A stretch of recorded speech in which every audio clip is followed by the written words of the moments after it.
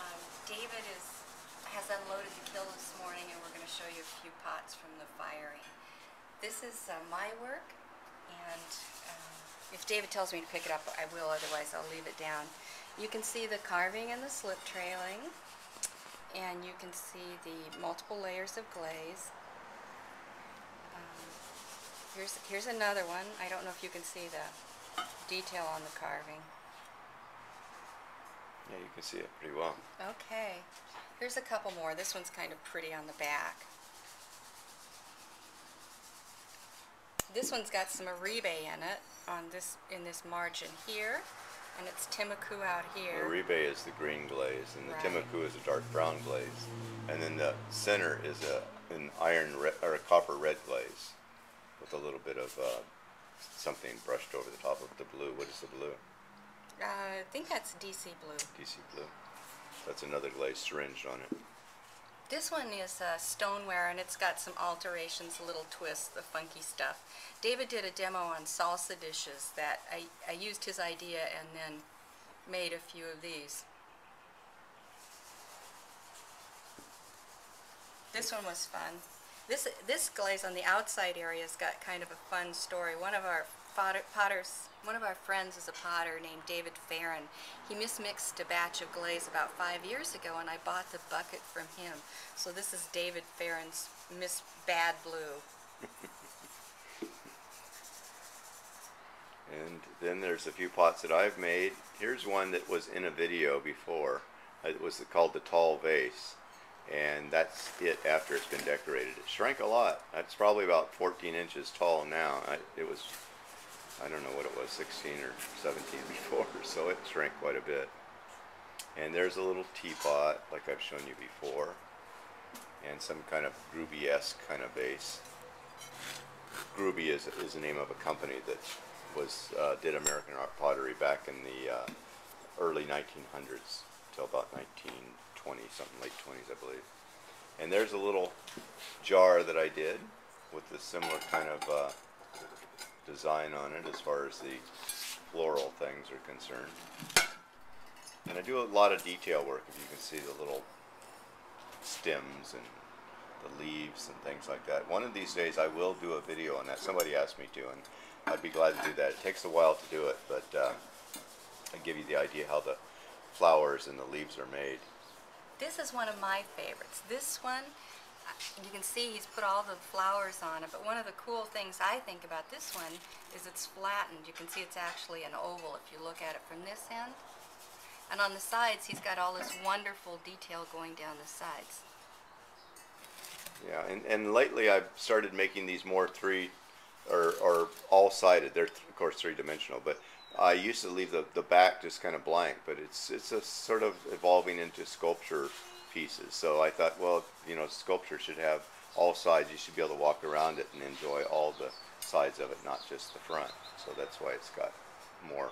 Now it's just leaves. But I keep that simple because if they put it up against a wall, I don't want them to hit the flowers and, and break it. So why that's done like that. There's a little piece of with a, a dog on it stretched over the top. Mary says it looks like our dog. It does. It's our dog Grace. See the little face? Let's see. Let's zoom in on the little face. It's hard to see it. and here's a few uh, other pots with just showing you the glazes. Uh, The glazes are unusual that in that they uh, came out differently this time because it the kiln cooled a lot faster. I didn't pull the damper in quite enough. There was probably open about a half an inch. First time I've ever done that. But it dramatically affects the firing. So uh, that, that is the result. So, so it's not just the way the kiln's fired, and as the temperature goes up, the amount of reduction and oxidation and time and so on, but the cooling really affects the, the, the end result of the way the glazes look. I, I don't, they don't look bad, but they, they're really very different than normal. This is a copper red, along with a, uh, another glaze on the, on the edge. And the other glaze on the edge, the blue glaze on the edge, really bleached out because I think of the rapid cooling. And here's a few other little pieces. Here's a little kind of arts and crafts type vase, kind of bulbous at the bottom. I do a lot of handles on things. another one with some blue and different colors of blue on top. So that is the result of the firing, the kind of mistake that I did. We're going to a show at San Diego Potters Guild uh, in a couple, a few days, at the end of this week. Today's Monday, and uh, there's a little vase that I did, and I kind of like the negative space from that handle. And here's some pots that uh, my assistant Evan Lopez did. He threw all these big pots for me, and I did some carving on them. So they're just they're planters, but planters are good too. There's a market for them for sure, and they're kind of fun to make. And these will be fired stacked together, just like you see here. And even more of them. Some of the smaller planters will be put inside there. So usually I do a nest of five planters or so. So that makes a kind of efficient way to fire them because the interior of a planter isn't glazed, and uh, that way you can get quite a few in just a small space. Anyway, that's it for today. Thank you guys for watching the video. We'll see you later. Bye. And here we are outside. This is the rest of the firing. Just thought I'd show you. There's quite a few pieces that fit in the firing.